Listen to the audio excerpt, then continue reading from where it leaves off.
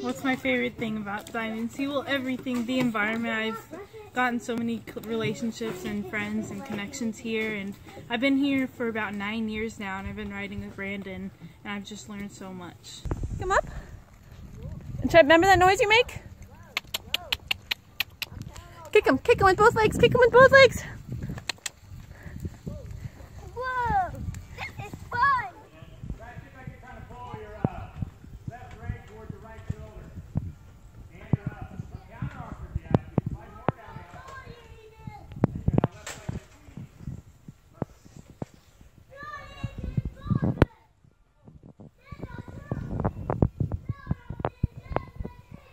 Allison, what's your favorite thing about Diamond C? Um, my favorite thing is probably all of the variety of horses that you can ride and all about and how nice and polite all people are. Not six.